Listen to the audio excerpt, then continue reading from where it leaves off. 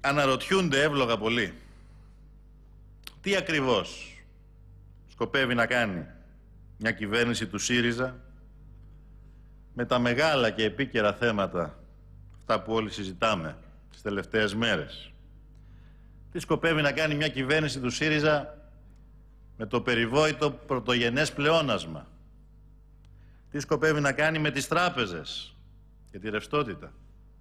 Με το δημόσιο χρέος; Επιτρέψτε μου λοιπόν με την ευκαιρία να τα ξεκαθαρίσω ένα προς ένα.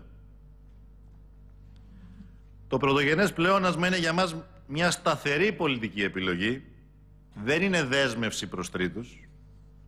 Στόχος για την επίτευξη του οποίου θα συνεχίσουμε μια πολιτική διάλυσης της κοινωνίας και της οικονομίας. Είναι κάτι που το χρειαζόμαστε για να μπορεί η οικονομία μακροπρόθεσμα να βελτιώνει. Όχι κάτι που για να το πετύχουμε βραχυπρόθεσμα θα καταστρέψουμε τις ζωές των ανθρώπων.